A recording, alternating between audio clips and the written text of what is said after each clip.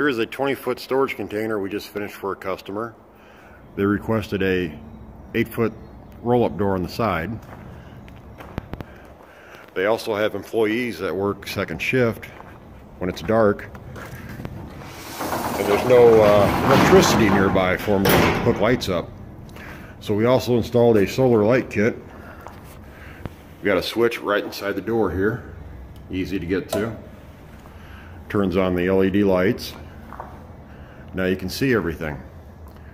We've got LED light strip across the ceiling.